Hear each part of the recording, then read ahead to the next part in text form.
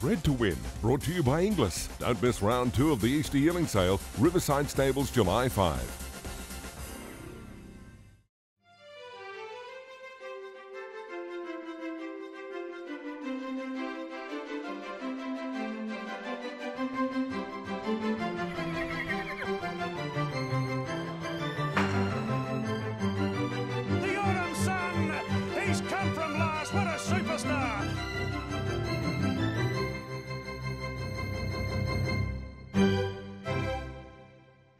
I'm Caroline Searcy. Thanks for joining me for another edition of Bred to Win. Coming up on this week's show, Stradbroke Day in Brisbane and the first British Classics of the season. We hear from Mark Webster about Inglis Easter Part 2 and plenty of other Inglis news. More Australian Stud and Stable Staff Award finalists. Cambridge Stud's Katie Smith explains exactly what goes into taking a yearling through the sales ring. Auctioneer Chris Russell and his favourite Inglis sales story. And sticking to the Inglis theme, media manager Peter Fitzgerald in Arrowfield Studs, the horse who made you love racing. First, so great Group 1 racing right around the world coming up in the Cambridge Stud Bred to Win wrap.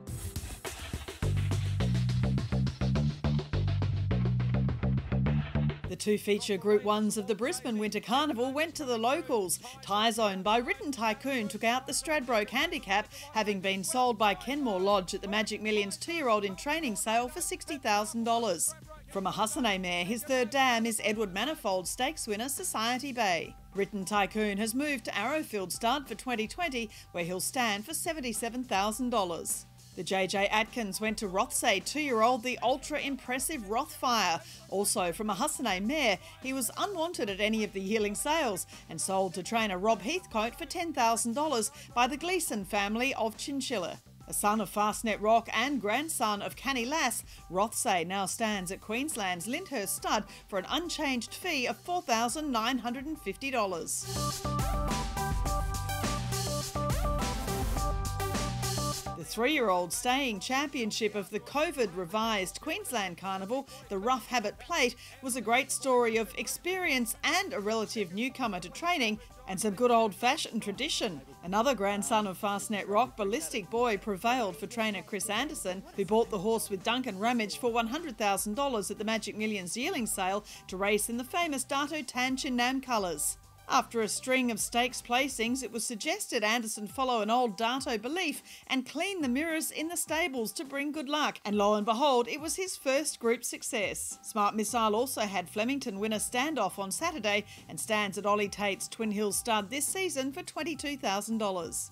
Classique legend in front there on the Bob Charley. At Randwick, the inaugural running of the Bob Charley Stakes, formerly the June Stakes, saw elite sprinter Classique legend return in style. The son of Not a Single Doubt from the fabulous mare Pinocchio, assisted a Racing to Win, he was bought from Tyrrell Stud by Carmel Size for $400,000 at the Inglis Classic sale. And it was a pride of Dubai two-year-old Quinella in the opening event at Randwick as Star Thoroughbreds Achiever beat Danehill Smile's Son's Street Dancer in a great day for Denise Martin and her owners. As news came through that Western Australia's Mungrup stud is closing down, there was a stakes victory for resident stallion Playing God as the Kingston Town Classic winner KC resumed with a win in the Raconteur Stakes at Belmont. A Peanut Turbo trying to see off Wichita, Kameko. And the delayed first British Classics of the flat season saw Kameko by Roaring Lion sire Kitten's Joy win the English 2000 Guineas, beating previously unbeaten Shamardal Colt Pinatubo. Kameko from a Rock of Gibraltar mare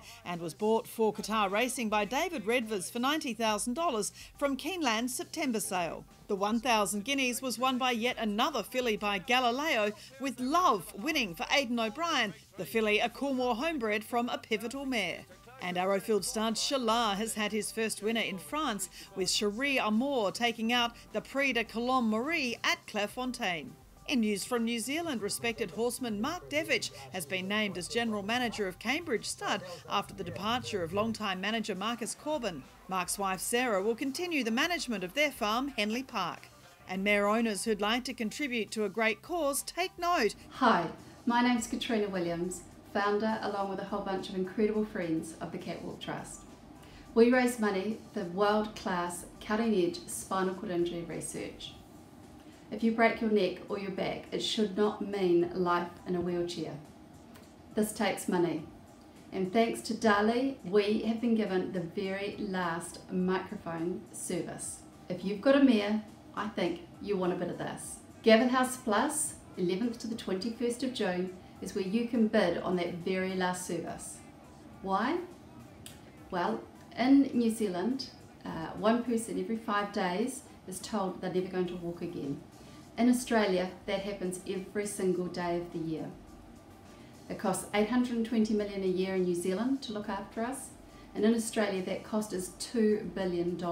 Catwalk has uh, worked with Spinal Cure Australia this year and supported that was $600,000, a massive amount of money. We're putting that into neurostimulation. Of all the promising avenues out there on the market at the moment, neurostimulation has delivered the most compelling results to date, returning significant feeling and function to people that have had spinal cord injury for many years. We're really excited about it. Continuing our look at the finalists in the 2020 Australian Stud and Stable Staff Awards. And if you breed or race horses, one of the most important things in the industry is their aftercare. And in the thoroughbred care and welfare category, the two finalists are from Victoria, Jade Willis and Liz Andriski. At Saleyard Thoroughbreds, we take in off the tracks direct from trainers and also thoroughbreds straight from the sales. I was basically looking for a horse for myself um, and decided to go along to Echuca Sales and got myself a nice off the track and then realised there was heaps there that were, you know, good for, you know, other stuff than meat. So we decided to go back and get one and then get another one. We're all self-funded here, you know, everything from purchasing the horse from the sales, feeding, farrier, you know, everything is all on us. So, you know, some weeks it's a bit a bit tight and a bit tough, and then other weeks, you know, you move a few that sort of helps things out. But um, yeah, it's all pretty much on us. To be nominated for this award um, was just a massive shock. I just couldn't believe that someone had thought, yeah, that I was worthy of it, um, and it's really great to be recognised. Since I was probably 14, I've had the odd thoroughbred and always had one on the go.